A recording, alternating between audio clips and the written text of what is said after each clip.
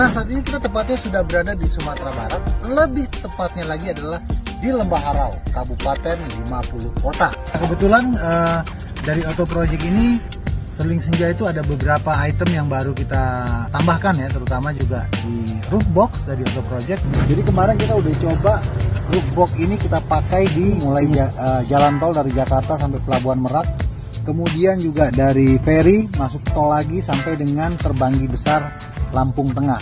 Kemudian kita masuk lagi ke pelosok Liwa, Ranau, bahkan ada jalur-jalur off-road, kemudian masuk lagi ke lintas barat Sumatera sampai ke Sumatera Barat ini.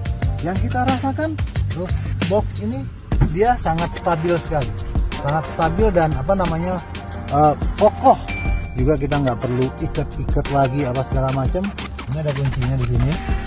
Ini bolak-balik bisa dibuka dari sebelah sini bisa juga dibuka dari sebelah sana ini strukturnya lebih aerodinamis ya jadi dia tidak menahan angin jadi sekarang ini perjalanan road trip Indonesia start dari Jakarta kemarin sampai ke Sumatera itu sudah pakai roof box baru sama karpet-karpetnya semua diganti baru. Wah ini kalau untuk karpet-karpet udah jadi bersih, rapi lagi itu Bida memang senang banget.